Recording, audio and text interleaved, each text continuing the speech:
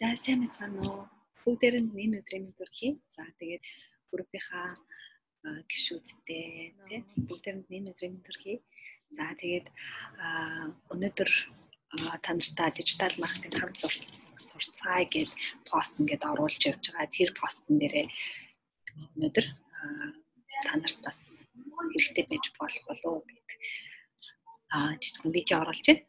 Төрөч удаагийн анхны маань видео болохоор пост оруулах видео байсан те. Тэгээд энэ удаад болохоор бас өмнө нь би постороо мэдээлсэн тэр програм ашиглаад одоо видеон дээр хийдүүлээ дуу яаж оруулах вэ? За дээр нь одоо текст яаж бичих үү гэд нэг програмыг туршиж үзье гэд оруулж байгаа юм шүү. Өөрөө хувийн блог ажиллуулдаг, блог ч юм уу те одоо пэйж ажиллуулдаг, групп ажиллуулдаг ч юм уу.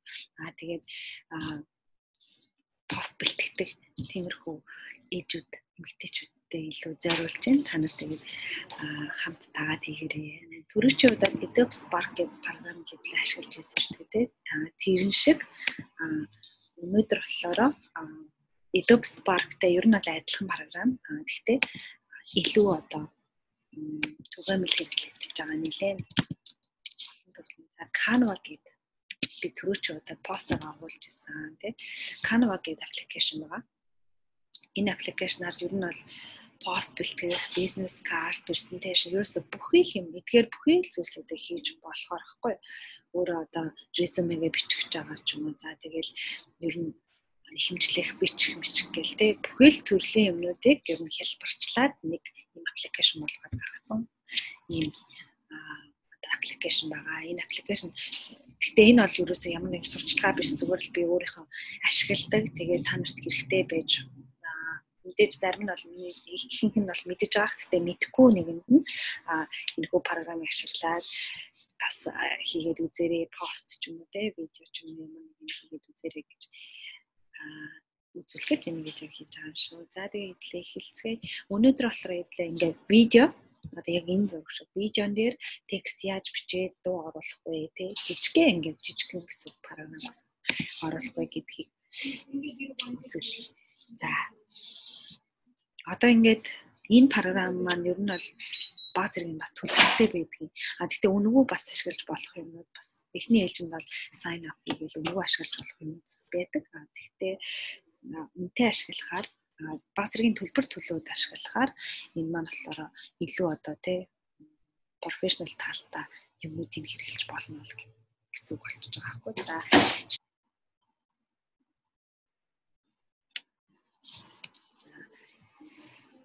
За хэдлээ ямар ч байсан. За Facebook видео хийж те. За жишээ нь жижигхэн одоо 1 минутын видео байдаг шүү дээ тий. Жишээ нь ганцхан минутаар хаагаад ямар нэгэн үйлчлэгээ ч юм уу тий бүтээгдэхүүнийг танилцуулах гэж байгаа тиймэрхүү. За тэнгууд эндээс ерөнхийдөө товчхон хэлцүүлээд яг энэ хэсэг бол одоо төвс хэрэгслүүд байхгүй. Би зураг оруулж болж байна. Энэ зураг бэлэн зурнаас гэж ашиглаж болж байна. Элементүүдтэй жижиг жижиг одоо бүрэн мөрч элементүүд ашиглаж болж байна. Текст, аа дуу За тэгээ видео тусдаа видео байгаа. Background зураг одоо background одоо зураг ашиглаж бас болно. Гэх мэтчлэн иймэрхүү ингээд ашиглаж болох юм байж байгаа. За тэгээд эндээс видеогоо сонгоод өөрөө оруулж байна. За тэгээд энэ дээрээ суурч ингээд за хэдүүлээ Тэгэхээр юу гэж юм гарч байгаа. Эндээс одоо дуртай видео болсон гэсэн үг. Жишээ нь хэвлээ нэг видеог сонгох. За энэ видеог сонгож. За тэгээ ингээд сонгосон видео ч өөрөө дууг байгаа. Энэ бол 5 секунд 7 секундын видео. Дуугүй видео байгаа учраас за эхний ээлжинд бол тэ ингээд хоёр тийш татаад дараа нэмж дуу. Хоёр тийш татаад энэ чинь бол Facebook-ийн яг одоо энэ хэл сайзаар явж байгаа хэмжээ. Facebook-ийн пост оруулахад видео оруулах хэмжээгээр явж байгаа гэсэн шүү. Ингээд ахлаар.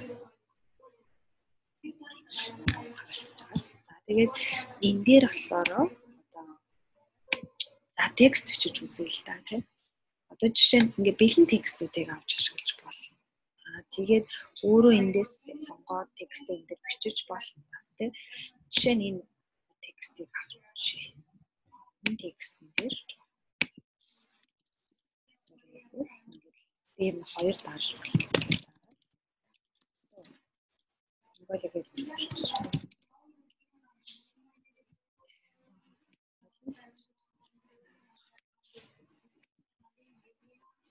гэж ингээд одоо жишээ нь дээрээ хоёр дараа болохоор засвар их боломжтой болж байгаа. За тэгээд цэнийг шиг засвар хийчихээ.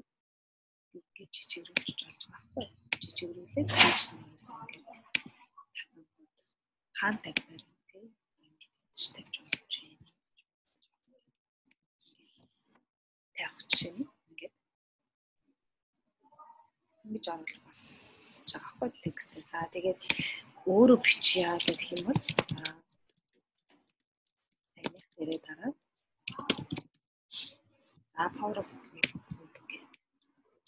энэ дараа бичдэг ч юм уу. За тэгээ ингээ биччихээд энэ дээрээ өөрөө солих одоо тийм гарч ирж байгаа гэсэн үг байна. Фондоо тасалбартаа фонд ашиглаж болох юм. Фондоо солилцоод а дээр нь тий одоо хэмжээ хэмжээг нь юм. За тэгээд өнгө бас өгч болно тий илүү одоо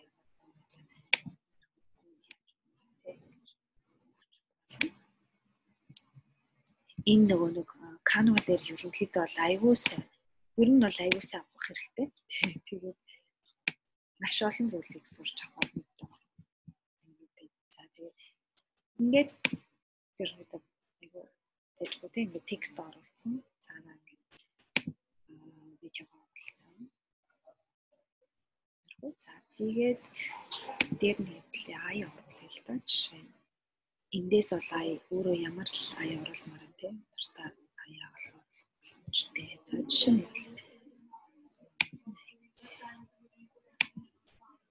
өөр ингээд дарахлаар ингээд сонсогдож байх сонсогдож нь тийм за энэ яаж байгаа юм. За тэгэл эндээс ийм зүйл аяа зүйл энэ дээр нь оруулахдаа одоо энэ дээр нь гарч free гэдэг дээр нь дарахаар энд автоматар ороод ирсэн байна. За тиймээс одоо би play хийж үзье л та.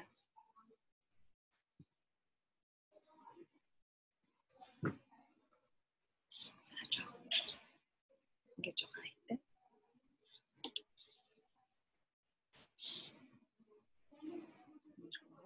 Ингээл ерөнхийдөө бол ингээл ийм жижигхэн видеог өөрөө хийж чинь гэсэн үг байхгүй. Айгу богино хугацаа. За тэгэхээр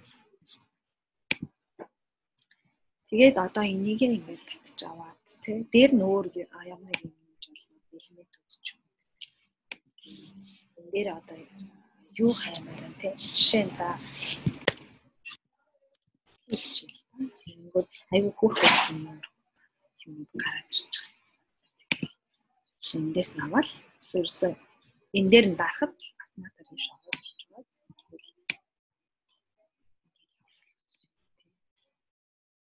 Гих мэтчлэн энэ програмыг ерөнхийдөө яаж л яаж ашиглах боломжтой. За тэгээд одоо ингээд за энэ видео минь болчлоо дуусчлаа гэдэг. Тэгэлээ даунлоод хийж татаж авах. Гэхдээ та нарын одоо энэ бол 7 секундынх байгаа байхгүй. Гэхдээ ингээд нэмээд ядаж 20 секунд болгож гэх юм бол видео орж одоо Facebook ч юм уу Instagram хэрэгтэй болно шүү дээ. Баг хугацаанд тийм гэж заасан үү тэр хугацааг заарч чаад. Тэгээд видеогоо ингэ даунлоод хийж аваад би дөрвөр хийгээд авчих юм бол цаад орохдоо илүү одоо ямарч те илүү зүгээр байдаг шүү дээ. Facebook, Instagram орохдоо би дөрвөр За ингээл нэг жижигхэн пост нэг хийж чих гэсэн илүү одоо ингээл чанарчаал баг баг зэрэг жижиг юм сураад тий тэрийг илүү баяжуулаад гэсэн үг шүү дээ. За. За бүгдээр маш их баярлалаа. Тэгээд дараагийн сурцаагаад бас дараалаа. Тэгээд та нар ч гэсэн өөрсдөө туршиж үзээд үзсэн бол бас надад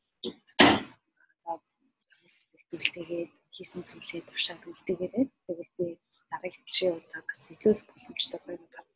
баяртай шүү. За баярлалаа. Баяртай.